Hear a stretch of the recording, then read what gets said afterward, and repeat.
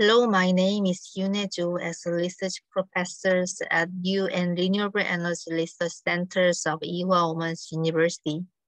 I will talk about the measurement principle and applications of IPCE. First of all, IPCE is same as the QE. The refers, uh, it refers to the efficiency of converted electron compared to the incident photon. Formulas are also expressed with the same definition. There are two QE, the EQE and IQE.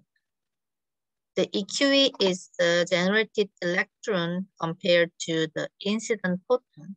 However, internal QE is generated electron uh, related uh, to absorbed photon. Uh, the, in the internal QE, we should consider the reflectance and transmittance. So the two types of QEs are little different. Uh, it differs from the material properties and the structures of the device surface. And the graph below is the data taken from a place called PV Education. And you can compare the reflectivity, IQE, and EQE data in from this one. So IQE is always greater than the EQE value. Since the generated electrons can be known from the generated current. Let's take a look at the generation current. First of all, when the light of energy greater than the band gap energy of the observed layer is late, uh, radiation, there is the maximum current density. Uh, however, photocurrent is considered by optical loss and electrical loss. The photocurrents can be expressed mathematically with a generation rate and collection function. And generation rate is the it's shown the formula. It composed the absorption and absorption coefficient and the incident decay. So um, the function is depends on the wavelengths and dielectric defect, uh, dielectric depth of incident light. As you know, where uh, the we use the solar spectrum with the depending on the wavelengths, and next the this figure shows the generation rate. The G value is the uh, generation rate uh, depending on the depth. Uh, in case of the silicon solar cell, uh, data was shown that it can be seen that there is an exponential decrease in the depth direction. If you look closer, you can see the longer wavelengths, longer wavelengths like the infrared, the deeper it goes. For reference, the generation rate is mainly mentioned in study related to light absorption and focusing. As shown in the figures on the light, it is the result of studying how light is focused on the surface and how it affects the collection of carriers when the carrier have spatial distributions by the nanostructure at surface. It's shown, uh, it is my own uh, paper at 2015. To introduce more basic information about the absorption of the light, uh, you can uh, see the Beer-Lambert law and this formula.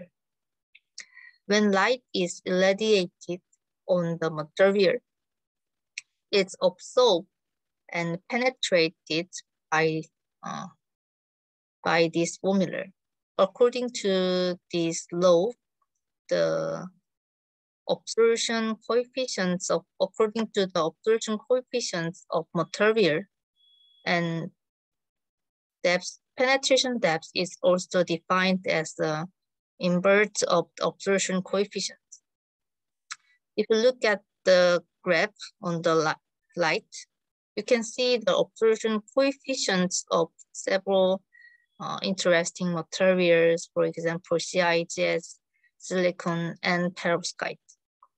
Uh, you can see that the absorption of the CIGS and absorption coefficient of CIGS and perovskite is much higher than that of the silicon, uh, crystalline silicon in the visible range. Therefore, if you calculate the uh, penetration depth, and uh, in case of CIGS and perovskite, uh, they have a 0.1 micrometer penetration depth. However, the crystalline, in case of crystalline silicon, uh, it's need to the from 10 to 100 micrometer thick to reduce the uh, to minimize the transmission loss. In fact, the silicon solar cells had uh, have to the over five micro 500 micrometer thick uh, substrate uh, and the and then it is the very important example uh, the thin film solar cell have significant advantages in terms of material cost Next, these are factors we can calculate uh, when we are measuring the QE.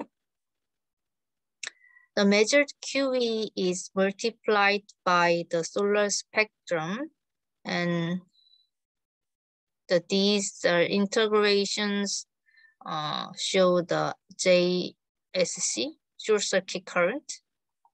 And then we can obtain the band gap energy by these formulas of QE measurement. These data are the results of our lab's uh, solar cell device. And in case of the multi-layer device, such as solar cell, the absorption and charge loss are very complicated for each layer before a current photocurrent is obtained. To improve device efficiency, it is very important to check which part, which type of loss there is in each layer. And this, uh, and by the QE measurement, we can estimate the, uh, which parts occur the uh, loss in the whole uh, device you can see is uh, this area show this area show the loss from the each layer, the CDS and TCO, and, and so on. So you can check that the parts of loss and how much of loss is shown in the figures C. And next, figure on uh, figure B, you can see the IQE loss by changing the TCO thickness of variation, thickness, the variation. In, in this case, the light absorbed from the surface will be an indicator to see how much photocurrent is absorbed by the TCO layers according to the thickness. Finally, by applying a voltage bias in QE measurement, information about the carrier transfers can be obtained in this part. First of all, carrier collection length is composed by diffusion length and depletion width. When we uh, apply the bias, the depletion width changes. So if QE changes a lot when we apply the bias, it can be thought that the over, overall correction risk, overall collection width is mainly affected by the depletion region, depletion width.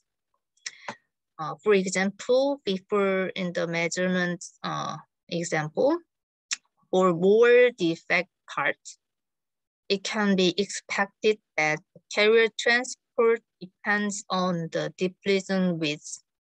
And finally, uh, it diffuse, its diffusions become uh, difficult.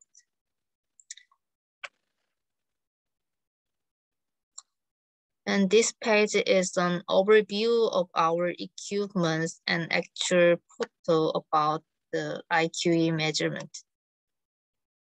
It's all over. The thank you for your kind attention.